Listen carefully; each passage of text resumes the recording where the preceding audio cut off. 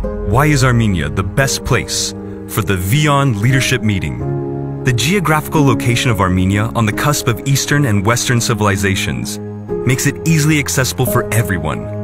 Obtaining an Armenian visa is a quick and hassle-free procedure, while for a number of countries it's not required whatsoever. Due to its subtropical climate, one can enjoy sunshine in all seasons, which makes Armenia an all year-round touristic destination, with majestic landscapes of snowy mountains, freshwater lakes, and sunny valleys.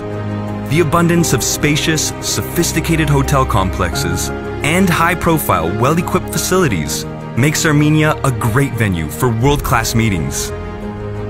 The rapid development of the IT sphere, as well as the advancement of industrial science, is based on centuries-old wisdom and experience. The country which adopted Christianity in 301 AD had an alphabet in 405 AD, and its present capital, established 2,798 years ago, can now rightfully be ranked as a modern center of innovations and technological progress.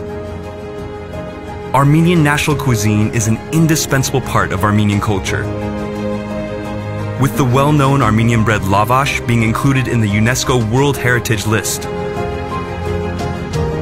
Another temptation that tourists cannot resist is the abundance of fresh, organic, and sun-kissed fruits and vegetables.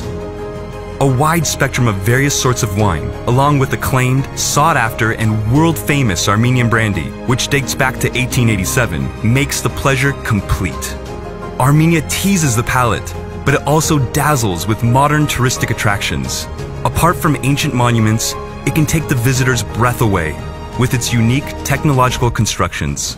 The 5.7 kilometer aerial tram Wings of Tatev, which is included in the Guinness Book of Records as the world's longest ropeway, is an architectural masterpiece, opening a view on the 4th century Tatev Monastery. Ultimately, Armenia is a land where the old and the new live in genuine harmony.